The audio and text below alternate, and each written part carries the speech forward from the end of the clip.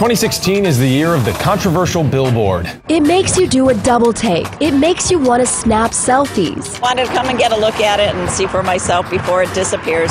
This billboard, Donald Trump kissing Ted Cruz, went up on the West 25th Bridge Thursday. That's hilarious. That is hilarious, but I miss the days when billboards were just for injury attorneys and cracker barrels, not political statements.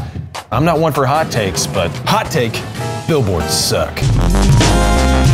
In 1965, Lyndon Johnson signed the Highway Beautification Act. He and First Lady Lady Bird Johnson wanted to plant flowers on the highway and make things look nice. And that's why they hated the powerful billboard lobby. I've never seen such a goddamn group of selfish, eager hogs. Wow. Despite the Johnsons' hard work, outdoor advertising is now a $14 billion industry, and we've got a new politically charged billboard controversy every other week. People are not happy about what was on a billboard in Indiana. It read, Hate cops. The next time you need help, try calling a crackhead. Just like any other billboard, it's lit up clear as day, easy to spot along A1A. A message critical of Islam. An Italian restaurant in Albuquerque, New Mexico has come under fire for putting up a billboard slogan with the pun Black Olives Matter. To be fair, not everyone hated that last one. As Lori put it on Facebook, as a regular patron for many years, I appreciate a little humor and I love olives.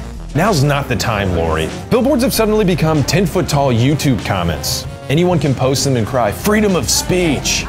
You try to ignore them, but every so often one catches your eye. Congressional candidate Rick Tyler says he stands by his decision to create the billboard that says Make America White Again. As far as the uh, putting up of a billboard like this, you know, this is First Amendment 101. Yeah, like Thomas Jefferson once said, I don't know what highways are, but Americans should have the right to post large signs promoting $5 submarine sandwiches and adult bookstores at the next exit.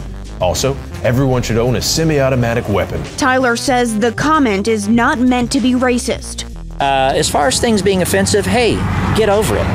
Uh, the world is offensive. There are things that offend me. Yeah, like progress. Billboard fun fact Four states have already banned them Alaska, Hawaii, Maine, and Vermont. Take a drive through Vermont and you may notice what's missing. I was pleasantly surprised. There are no billboards here, not even on the biggest roadways. Maybe we should all follow Vermont's lead so we can avoid situations like this. WhereWhitePeopleMeet.com. This billboard is causing a lot of controversy all across the country. People ask why, I say why not.